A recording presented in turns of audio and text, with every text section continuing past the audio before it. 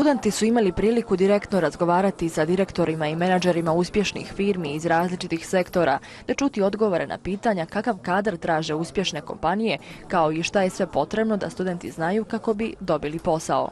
Pa poruka studentima je da prilika postoji, da trebaju ih istraživati, da se trebaju aktivirati, da trebaju uh, čuti šta im to kažu predstavnici dobrih kompanija, da nije izlaz da nije izlaz izlazak iz ove zemlje i odlazak, nego da također postoje dobre perspektive i ovdje. Uspješne kompanije traže kadar koji se ističe, kadar koji je drugčiji, kadar koji je bolji i koji je aktivan. Ono što često kažu na ovim tribinama da nije jedino iskustvo koje se može steći recimo tokom studiranja ono u struci.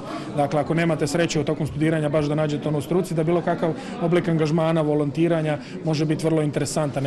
Praksa tokom studiranja omogućava studentima da steknu ključne kompetencije, vještine i znanja koja su potrebna za zaposlenje nakon studija, zbog čega predstavlja ključ uspjeha.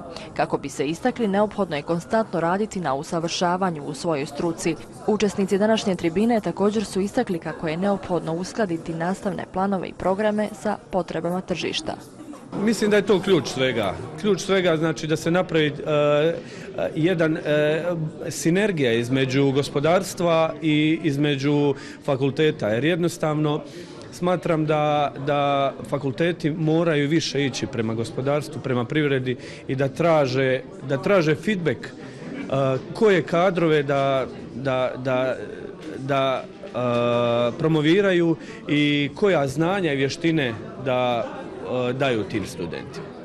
Organizator današnje tribine, asocijacija Akademac je inače najveća asocijacija u Bosni i Hercegovini koja okuplja pojedince iz akademske zajednice, poslovnog sektora, politike, studente i stručnjake koji rade na povezivanju visokog obrazovanja s tržištem rada. Projekat provodi OKC Banja Luka uz podršku USAID-a kroz program održivosti civilnog sektora u Bosni i Hercegovini.